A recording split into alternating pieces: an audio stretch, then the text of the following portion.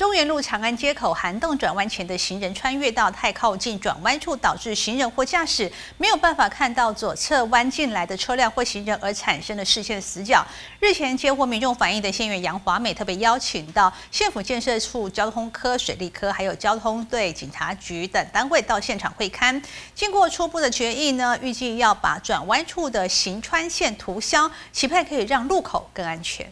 有民众反映，华莲市七角川公园中原路切近长安街临近涵洞的大转弯路口，行人走在行人穿越线过马路时，无法看见左侧弯进来的车辆，产生视线死角，有生命安全疑虑。花莲县议员杨华美接获陈情，日前邀请花莲县府建设处交通科、水利科、花莲市公所、花莲县警察局交通队等单位到场会勘商讨。呃，这边设设一个行穿线，但是它临着这个转弯非常的近，所以它会造成这个用路人、行人在过来的时候很很难辨识到旁边的车辆要转过来。那这个行穿线到底有没有必要存在，或者要怎么样调整？今天就在来讨论这件事情。那还有这旁边这个空地，其实都超过六十公分，其实都应该要出那个是。线才会比较好。第一个阶段的解决方法哈，是因为前面那边在那个呃游儿童游戏场的部分已经有行穿线跟红绿灯了，所以是希望先把这个这个斑马线先把它涂涂掉，然后用黄线的方式直接延伸过去。然后如果未来真的民众认为这个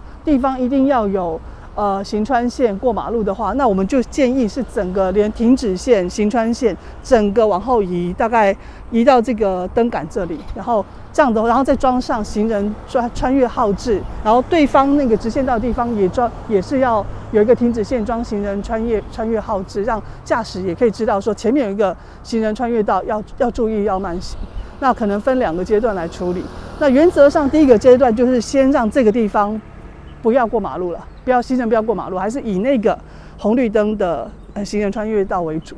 与会人士认为，转弯处的行穿线两端与人行道接口，并未设置无障碍通道，转弯处空地又杂草丛生遮蔽视线，的确有安全问题。随后与县议员杨华美现场初步决议，涂销转弯处的行穿线，另外延长地面双黄线到转弯处，提醒驾驶曾有弯道，并建议行人行走在中原路切进长安街的行穿线上。期盼透过初步的改善，让行人驾驶在这路口有更安全保障。